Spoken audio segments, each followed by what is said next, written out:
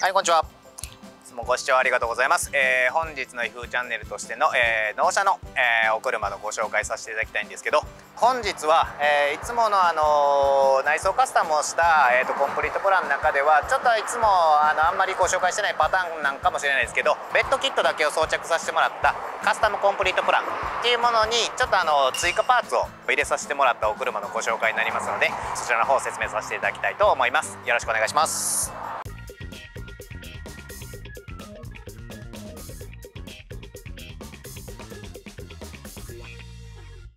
お車の方はベースグレードが標準ボディの2リッターガソリンスーパー GL のダークプライム2ですね。で、えー、っと外装としていつものコンプリートプランに入ってあるアイデンティティのフロントリップスポイラー。で、えー、っとコンプリートプランの中に入ってある T10 の LED のポジションランプに IPF のフォグランプの方を装着してる状態になりますね。とは、えー、っと通常にいつも通りでコンプリートプランの中に設定のあるアイデンティティのアゲンスト S9 の17インチ。こちらの方はカラーの方をブラックポリッシュで入れさせていただいてますね。であとこのまま後ろ回ってもらっていつものように LED のテールランプの方を装着している状態ですね。CK シャルタイプの。あとはコンプリートプランなので、えっと、中身は一応ね基本ベースとしてのうちのコンプリートプランの中に入っているものであればこの、えー、高さ調整式の、えーと、ベッドが全部ついてある状態になってますね。でステッチはシートカバー等に合わせて赤色のステッチで一緒に統一感出してます。続いて通常プランの方のコンプリートプランにいつもつけてある、えーと、3D のバケットシートですね。こちらの方も、えーと後ろのやつに全部統一感させて黒レザーで赤のステッチが入ってる状態のシリーズになりますね。そしてあと追加オプションとさせてもらって中に入れさせてもらってるのがこちらの方の車中泊をベースにちょっとお客様の方から要望がありましたので UI ビークルさんのセンターカーテンこちらの方を追加パーツで入れさせてもらってる状態ですね。で一応センターカーテンの方もフリップダウンが見れるように後ろにあの取り付けを配置変更させてるんでフリップダウンがついててもつけれるような状態になってます。でうちのベッドキットは普通に。シートを倒してもらった状態でも高さが一緒になるようにフルフラットになりますのでこちらの方でベッドの方がね延長するという形にもなります。であとお客様からの要望で付けさせていただいたのが、えー、UI ビークルさんのハンガーレール。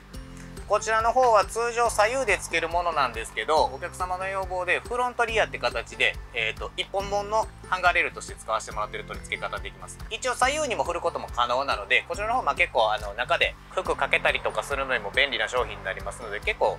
人気のある商品ですね。あといつものパターンと違うので付けさせてもらってるのがよいしょ。でお客様が車中泊用での今回シリーズとしてのちょっとお車の方のご要望があったので、えーと、UI ビークルさんの、えー、車高パッドこちらの方も結構つけてるような商品になりますね。で、えーと、お客様自身が釣り等をされるということがあったので、えー、カーゴスペースもともと絨毯引いてるものであるとあの汚れ等とか水がこぼれたりするのをちょっと気にしてはったのでこちらの方の 3D のラバーマット。これであれば普通にあの水もんとか砂とかが落ちてもあの角がついてあるんでね汚れ等の掃除等も楽な商品になりますのでこちらも結構人気ある商品なんで。であとは先ほど言ってた高さ調整っていうののうちのベッドフレームっていうのがここでこれ外してもらって高さが調整できるようになってあるので普通に3段階で調整できるようになってますあとお客様自身で今回一番なのが最近車中泊で多いのであのサブバッテリーシステムっていうのが結構多くで言われるんですけど費用がかなりかさんでしまうっていうのとあとはもう車の中だけでしか使えない電気になっちゃうので世の中でいうところの災害とかが起きた時にはもうま車の中だけでの電気っていうのも必要なんですけどお家等での電気っていうのもなってくるとやっぱ最近多いのがこういったポータブルバッテリーを活用した商品っていうのが多い状態ですね。こちらでしたら、まあ、あのキャンプ行く時に持っても行ってもらう。で通常はもうそのまま家に置いといてもらうような状態になってお車にサブバッテリーシステム組むよりかは半値ぐらいではつけれるような商品になるので容量によってはちっちゃいので安いのはあるんですけどそれであればちょっと動かないものが多かったりするので基本的にはまあちょっとね15万円から20万円ぐらいの商品にもなるんですけどそちらの方ぐらいやっといていただければ車の中でエンジン切ってる状態でもナビが見れたりするので一応システム的にはこちらの方で今電源入れてる状態で、えーと、車のエンジンは切ってます。でこの状態で今切れてる状態なんですけどエンジンもねメーター等も何もついてない状態なんですけどこちらの方のスイッチを押すとちょっと時間が経てばそのまま立ち上がってナビゲーションで、えーと、コンプリートの中に入っているフリップダウンがこちらのお車には装着されてあるのでエンジンが切ってる状態で後ろで車中泊されてる時でも普通にあのフリップダウンでテレビが見れる状態になりますのでシステム的には同じような容量になるんですけど安価な状態でこれぐらいのシステムが組めるっていうので人気のある商品になると思うのでこれからちょっとあのねこういった感じのことをする時に参考にしていただけたらいい感じのパーツにはなるのでご参考にしてください。はい、あとね、えー、とこのポータブルバッテリーはオプションでこういったソーラーパネルもあるのでこちらの方がこういうパネル式になってあって